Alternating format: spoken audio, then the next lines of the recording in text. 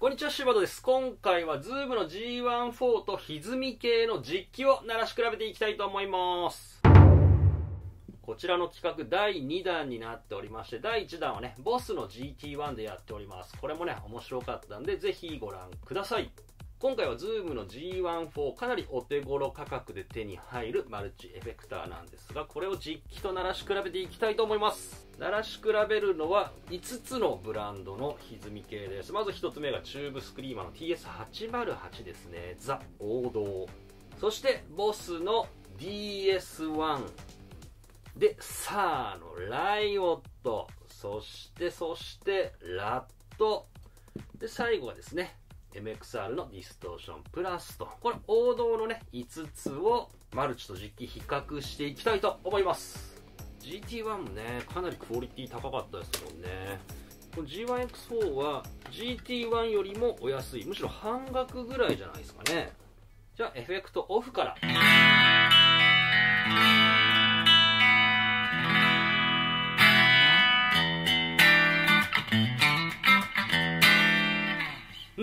じゃあズームからいきましょうかね。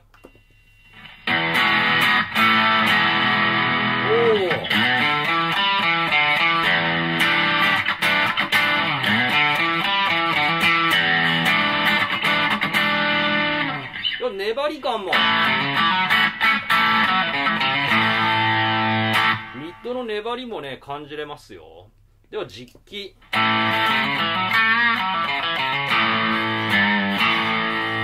ルチの方が元気はあるけどやっぱうん。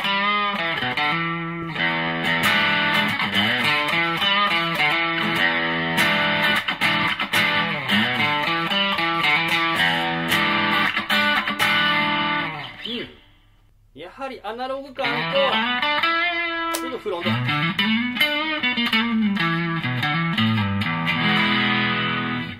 でマルチですね。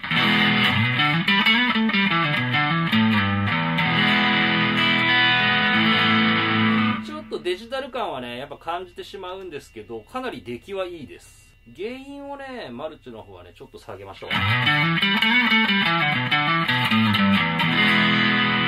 原因の効きがねこっちの方がいいんでこれ実機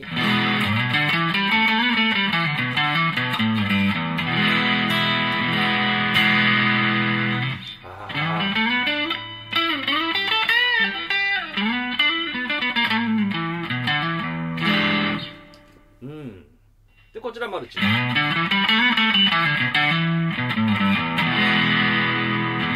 よくできてますよね。ちょっと硬さはあるのと若干ノイズが気になるなっていうところはあるんですけれども非常にいい出来だと思います。では続いてボスの DS1 ズームの G1X の方から鳴らしていきます。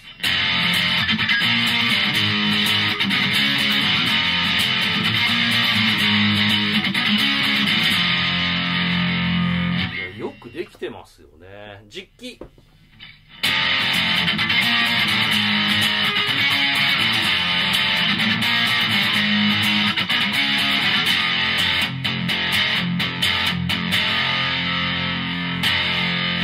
やっぱアナログ感の違いですよね。これもねよくできてます。マルチの方がちょっとね密度が濃いというかギュッとしてる感じはするんですけど。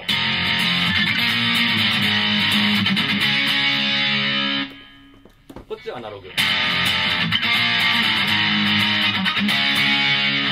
ジャキーがねやっぱね耳障りじゃないっていうのはこのアナログのね素晴らしいところかなと。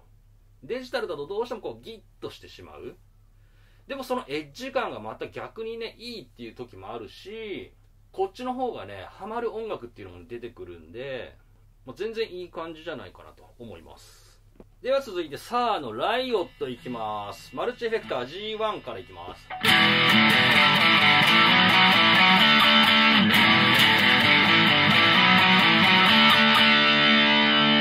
うん。で続いて実機。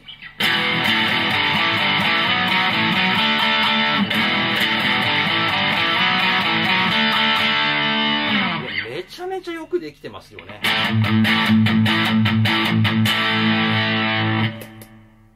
ルチ。あローもしっかり出るしね。かなりクオリティ高いですね。で実機。いや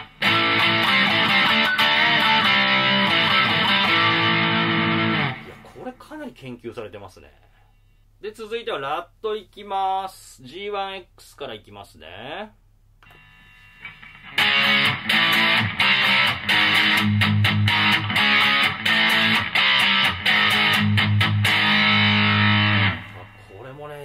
いいとこついてますね。これ実機。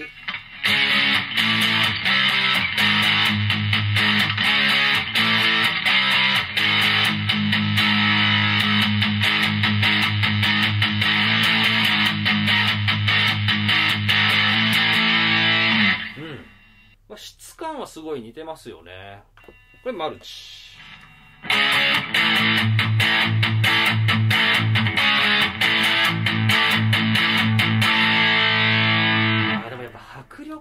迫力がこれ実機で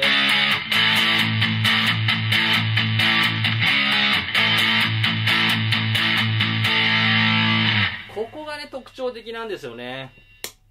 ラットのミュート。このミュートの迫力感っていうのがやっぱちょっとデジタルでは少し弱めな感じはしますけれども質感はめっちゃ似てますね。やっぱクオリティね高いっすよね。次は MXR のディストーションプラスまたズームからねいきたいと思います。マルチです。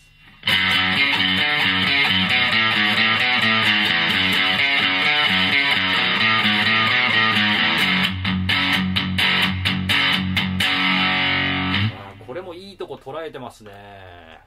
これ実機の方です。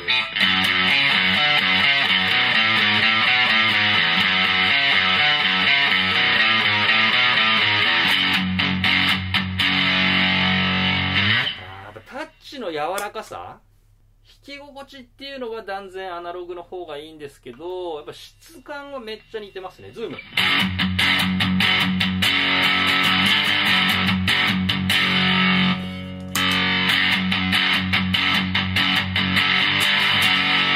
あでもレスポンスがねめっちゃ速い。これがやっぱアナログなんでしょうね。というふうな感じになりました。いかがでしたでしょうか？かなりね質感は似てますね。若干の違いっていうのはやっぱレンジだったりとかこう奥行きあと質感では表現できないミュートでの圧だったりとか、まあ、そういったところアナログとデジタルの違いはあるものの、まあ、今の時代ですねアナログが正義かっていうわけでもないんでというのもデジタルを使った音楽が多い中でミックスした時に何が一番ハマるか、まあ、そういったことを考えていくと逆にマルチの方がハマる音楽だったりもあるのかなっていうのは感じますね、まあ、そのエフェクターの雰囲気だったり質感を出していきたいっていうところではこの1万円のマルチでもね全然いいんじゃないですかね。というのが私の見解でございます。ご視聴ありがとうございました。シーマードでした。